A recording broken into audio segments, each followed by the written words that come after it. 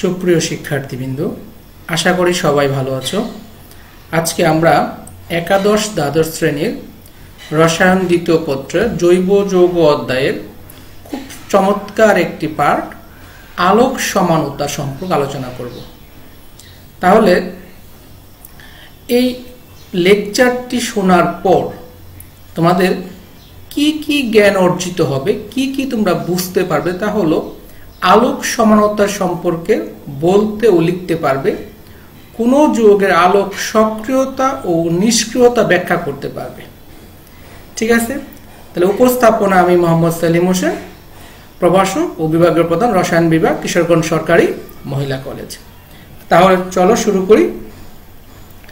প্রথমে আমরা সমানতা। আমরা এই সমানতার উপর আগেও একটি ক্লাস নিয়েছিলাম ওই ক্লাসে সমানতা কি? সমানতা কত প্রকার? কি কি? এইগুলো পড়িয়েছি। এই লেকচারও আমি কিছু জিনিস রেখেছি, যেমন সমানতার সংজ্ঞাটা রেখেছি, তোমরা এখানে দেখে নিবে। সমানতার প্রকার তোমরা রেখেছি। আবার স্টেরিও সমানতার সংজ্ঞাও রেখেছি। এখান থেকে দেখো, আবার স্টেরিও সমানতার দুই প্রকার একটা হলো জ্যামিতিক বা সিস্টান সমানতা একটা হলো আলোক সমানতা। মেনলি আজকে আমাদের পড়া হলো আলোক সমানতা। ঠিক আছে? তাহলে সবাই প্রস্তুত? হ্যাঁ। তাহলে আমরা শুরু করি যে প্রথমে আসো আমরা আলোক সমানতার সংজ্ঞাটা জেনে নিই। আলোক সমানতা কি বা কাকে বলে? তো সংজ্ঞাটা দেখো কি বলা হয়েছে এই জায়গাটায়? যে যে সকল যৌগের দ্রবণের মধ্য দিয়ে এক বর্ণী আলোক রশ্মি অতিক্রম করালে আলোর তলের পোলারাইজেশন ঘটে। অর্থাৎ যৌগের দ্রবণ আলোর তলকে ভিন্ন ভিন্ন কোণে ঘুরিয়ে দেয়। তবে ওই যৌগ সমূহকে আলোক সক্রিয় যৌগ এবং আলোক সক্রিয় যৌগের এই যে বিষয়টি অ্যাক্টিভিটি এই ঘটনাটাকেই বলা হয় আলোক সমানতা। ঠিক আছে? তাহলে এখানে খেয়াল করে দেখো, আমরা কটা জিনিস পড়েছিলাম। একটা হলো দেখো, এক বর্ণী আলো। এক বর্ণী আলো বলতে আমরা কি বুঝি?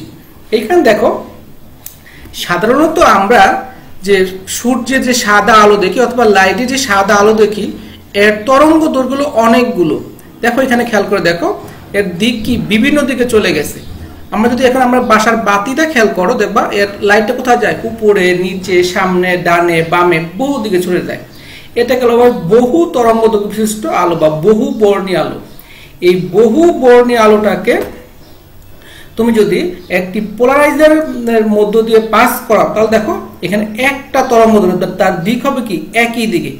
এইটাকে বলা হয় এক বর্ণী আলো বা এক তরঙ্গ বিশিষ্ট আলো। এই আলোটাকে কোনো যৌগের দ্রবণের মধ্য দিয়ে, এটা একটা টিউব, এখানে একটা কি? যৌগের দ্রবণ রাখা হয়েছে। এই যৌগের দ্রবণের মধ্য দিয়ে তুমি যদি অতিক্রম করাও পাস করাও, তাহলে এই যে আলোর তল কি উপর নিচে ছিল? এটা কি ঘুরে গেছে দেখো, এটা কি একটু বাঁকা হয়ে গেছে, ডানে অথবা বামে ঘুরে এইটাই কি বলা হয় কি পোলারাইজেশন যদি এই ঘটনা ঘটে, তাহলে এই যৌগটাকে বলব আমরা আলোক সক্রিয় যৌগ, আর এই ঘটনাটাকে বলব আমরা আলোক সক্রিয়তা। নিশ্চয়ই তোমরা এখানে অনেকটাই বুঝেছ। তাহলে চলে আসো, পরেরটাতে আসো। আলোক সমানতার শর্ত। অর্থাৎ কি কি শর্তে একটা যৌগ আলোক সমানতা প্রদর্শন করবে? তাহলে এখানে দেখো তিনটি শর্ত আলোক একটি যৌগ, আলোক সম প্রদর্শন করবে। একটি হলো, যৌগটিতে কাইরাল বা অপ্রতিসম কার্বন থাকতে হবে, যৌগটিকে আলোক সক্রিয় হতে হবে, যৌগগুলো একে অপরের অসমাপতিত দর্পণ প্রতিবিম্ব হতে পারে। এই তিনটা জিনিস আমরা একটু একটু খেয়াল করে দেখো। প্রথমে আমরা চলে আসি কাইরাল বা অপ্রতিসম কার্বন তো আমরা যদি দেখি কি বলা হয়েছে? কার্বনের সাথে যুক্ত চারটি পরমাণু বা গ্রুপ পরস্পর ভিন্ন হলে ওই কার্বনকে অপ্রতিসম কার্বন বা কাইরাল কার্বন বলে, একে স্টার চিহ্ন দ্বারা প্রকাশ করা। তোমরা পাশের চিত্রটা খেয়াল করে দেখো।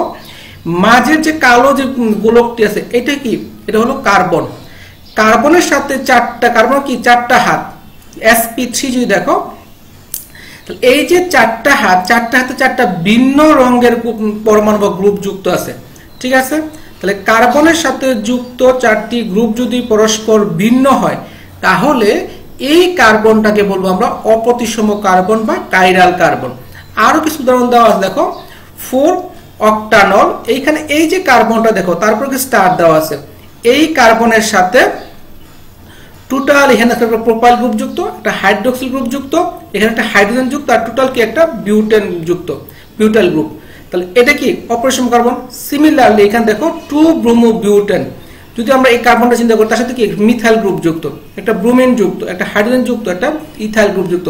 মানে এই কার্বন সাথে যুক্ত চারটি গ্রুপ পরস্পর ভিন্ন। একটা জিনিস খেয়াল রাখতে টোটাল যৌগে যদি একটি মাত্র কার্বন যদি অপ্রতিসম কার্বন হয়, তাহলে কি যে যৌগটা আলোক সক্রিয় হবে। কি বলছে? Only sp3 hybridized atom can be chiral অর্থাৎ sp3 সংকলিত কার্বনে কি? তোমার হবে আরেকটা গ্রুপ হইতে হবে সেম বা সিমিলার গ্রুপ হলে হবে না। এখানে দেখো গ্রুপগুলো পরস্পর ভিন্ন। যদি সিমিলার হয়ে যায়, তাহলে কিন্তু জায়গাটা অপ্রতিসম কার্বন বা কাইরাল কার্বন হবে না। তাহলে আমরা চলে যাই পরেরটাতে, আলো সক্রিয়তা। এইখানে দেখো, এই যে লাইট সোর্স লাইট সোর্স থেকে আমরা আলো আসতে কি? বহু তরঙ্গ দূরত্ব আলো। এই আলোটা কি পোলার একটা তরঙ্গ হয়ে গেল, দেখো, এই যে উপর নিচে একটা তরঙ্গ। যখন এই যৌগের দ্রবণের ভিতর দিয়ে পাস করাচ্ছ, তখন কি তার তলের কোনো পরিবর্তন হয় না? অর্থাৎ এইখানে যেরকম ছিল, যৌগের দ্রবণের মধ্য দিয়ে অতিক্রম করার পরেও কি একই রয়ে গেছে?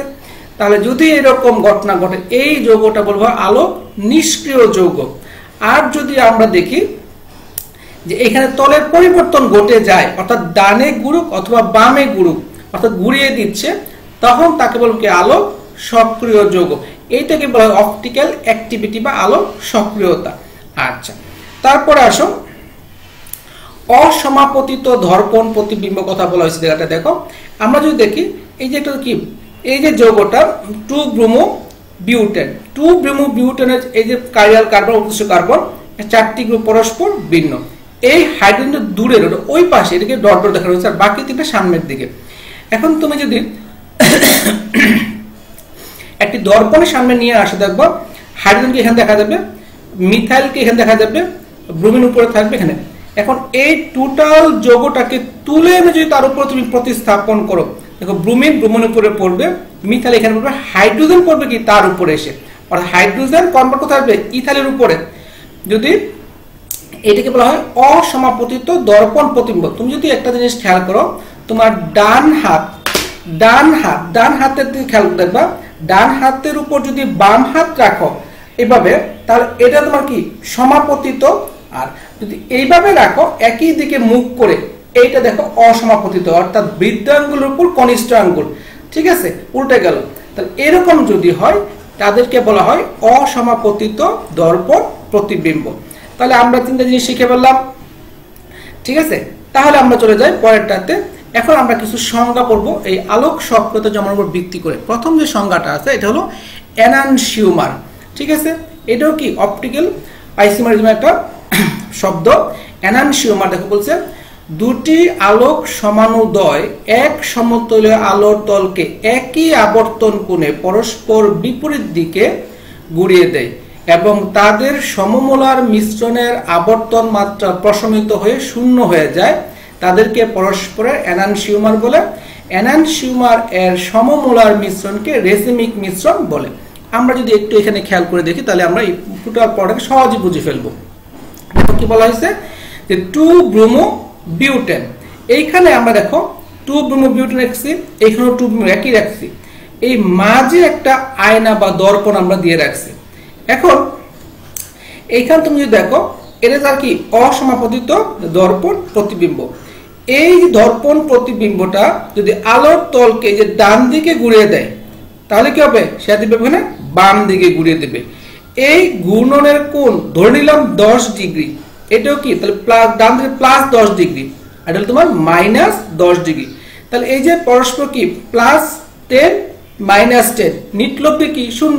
তাতে কি? শূন্য হয়ে যায়। তাহলে এরকম যদি ঘটনা ঘটে, তাহলে তাদেরকে বলা হয় পরস্পরের অ্যানানসিউমার ডান দিকে ঘুরিয়ে দিলে তার নাম হয় ডি ডি আর বাম দিকে কি তার নাম হয় এল অর্থাৎ ঘূর্ণনের দিকে আমরা ডেক্সটু এবং ল্যাবু দিয়ে প্রকাশ করা হয়। তাহলে অ্যানানসিউমার বুঝতে পারছি যে কি হবে? দর্পণ প্রতিবিম্বকে অসম্ভবত হবে এবং একটি দর্পণ প্রতিবিম্ব আলোর তলকে যে দিকে, যে কোণে ঘুরিয়ে দিবে, অপর দর্পণ কি? একই কোণে বিপরীত দিকে ঘুরিয়ে দেবে। তাদেরকে বলা হয় পরস্পরের অ্যানানসিউমার ঠিক আছে? তাহলে আমরা পরের স্লাইড হলো আরেকটা শব্দ হলো আমাদের ডায়াস্টেরিওমার দেখো কি বলা হয়েছে।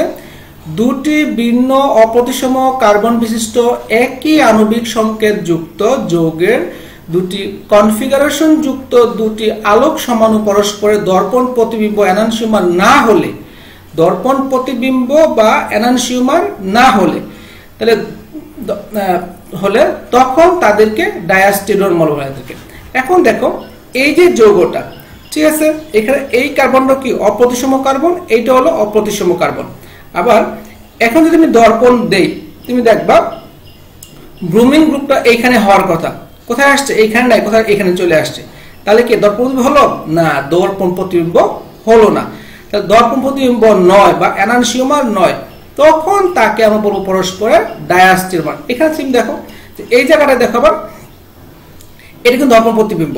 ঠিক আছে, ব্রুমিন ব্রুমিন, হাইড্রোজেন হাইড্রোজেন, এই দুটো কিন্তু অ্যানানসিওমার তাহলে এক এবং দুই পরস্পরের ডায়াস্টোরোমার দুই এবং দুই এবং তিন কি? পরস্পরের জায়গাটায় অ্যানানসিওমার দর্পণ প্রতিবিম্ব হলে অ্যানানসিওমার দর্পণ প্রতিবিম্ব না হলে ডায়াস্টেরিওমার ঠিক আছে? আচ্ছা তাহলে আমরা চলে আসি পরেরটাতে। দেখো, আরেকটা শব্দ হলো আমাদের মেসো যৌগ কি বলা হয়েছে? দুটি ভিন্ন অপ্রতিসম কার্বন বিশিষ্ট একই আণবিক সংকেত যুক্ত। যৌগের একটি অংশ অপর অংশের দর্পণ প্রতিবিম্ব হলে এবং একটি অংশ আলোর তলকে যত কোণে ঘুরিয়ে দেয়, অপর অংশ আলোর তলকে সেই একই কোণে বিপরীত দিকে ঘুরিয়ে দেয়। তখন এরূপ যৌগকে মেসু যৌগ বলে। মেসু যৌগ আলো নিষ্ক্রিয়। তাহলে আমরা তিন ধরনের যৌগ পড়লাম। একটা হলো অ্যানানসিওমার, ডায়াস্টিরমার, একটা হলো মেসু যৌগ অ্যানানসিওমার আলোক সক্রিয়, ডায়াস্টিরমার আলোক সক্রিয়, কিন্তু মেসু যৌগ কি? আলোক নিষ্ক্রিয়। আরেকটা আছে অ্যানানসিউমারের ক্ষেত্রে একটা শব্দ রয়ে গেছে জায়গাটায় রেসিমিক মিশ্রণ। অ্যানানসিউমার এর সম আণবিক মিশ্রণও কি? তোমার মেসিমিক মিশ্রণ। এই মেসিমিক মিশ্রণ আলোক নিষ্ক্রিয়। এবার আমরা উদাহরণ ক্ষেত্রে মেসেজ উদাহরণ চলে আসি। দেখো এই যে যৌগটা, এইখানে দেখো এটা হচ্ছে তোমার? One two di two three dibromo butane এইখানে যদি আমাকে দর্পণ দেয়, দেখো, একটি অংশ, আরেক অংশের দর্পণ প্রতিবিম্ব। সে যদি আলোর তলকে এদিকে ঘুরিয়ে দেয়, আলোর তলকে সে এদিকে? একই দিকে ঘুরিয়ে দেবে। যেভাবে তুমি দেখো, আলোর তলকে এদিকে ঘুরিয়ে দেয় সেদিকে এই যে একটি অংশ, অপর অংশের দর্পণ প্রতিবিম্ব এবং একটি অংশ আলোর তলকে যে কোনো ঘুরিয়ে দর্পণ বিপরীত তুলে এরকম যোগ মেসো যোগ। তাহলে দেখো, আজকে আমরা কি কি শিখলাম? আলোক সক্রিয়তা কি, কারা প্রদর্শন করে, কি কি শর্ত এনানসিউমার কারা ডায়াস্টেরিউমার কারা মেসোযোগ কারা। এখন যদি আবার প্রশ্ন করা হয়, একটা যৌগ দিয়ে বলা হয় যৌগটি এনানসিউমার লেখো বা দেখাও ডায়াস্টেরিউমার দেখাও, অথবা যৌগটি আলোক সক্রিয় কিনা ব্যাখ্যা করো, তাহলে কিন্তু আমরা এখান থেকে ব্যাখ্যা করতে পারব।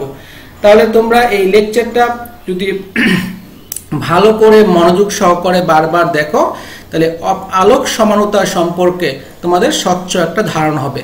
তাহলে আমরা দুটি লেকচারের মাধ্যমে সমানতা চাপ টপিক্সটা সুন্দরভাবে শেষ করেছি। তাহলে তোমরা বারবার দেখবে এবং এই ছুটির দিনগুলোতে বাড়িতে বসে বসে তোমাদের প্রত্যেকেই যার সুযোগ হয় লেকচারগুলো দেখবে এবং তোমরা বাড়িতে থেকে, বাড়িতে যখন বের হবা, তখন স্বাস্থ্যবিধি মেনে অবশ্যই চলবা। পরিবারের সকলকে বলবা, তারাও যেন কি স্বাস্থ্যবিধি মেনে চলে। আমাদের সকলের ঐকান্তিক চেষ্টায়, সকলের প্রচেষ্টায় যেন আমরা এই মহামারীকে জয় করতে পারি। তাহলে আজকে সকলকে এখানে ধন্যবাদ। দেখা হবে আবার কোনো ক্লাসে। ধন্যবাদ সকলকে, ভালো থাকো।